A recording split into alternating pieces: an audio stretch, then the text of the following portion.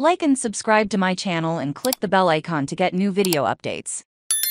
Your daily horoscope, April 7. Try not to be such a rugged individualist in the coming year. As the first member of the zodiac, you often prefer to forge your own path and do your own thing. That a more cooperative attitude will benefit both your wealth and will work wonders for your well-being. Aries yesterday's full moon will have brought recent tensions in one-on-one relationships to a climax but it will not have resolved them completely. You still need to work out your differences with partners and loved ones. Taurus what you do for others, you do for yourself, so be generous with your time and energy today, and go the extra mile. Even if it isn't expected of you Gemini someone you associate with may enjoy a higher one status than you. But that doesn't mean he is better than you. On the contrary, even if you re successful in a certain area, you have a broad knowledge that they don't have, so don't feel inferior. Cancer the waning full moon is still making things difficult on the home front,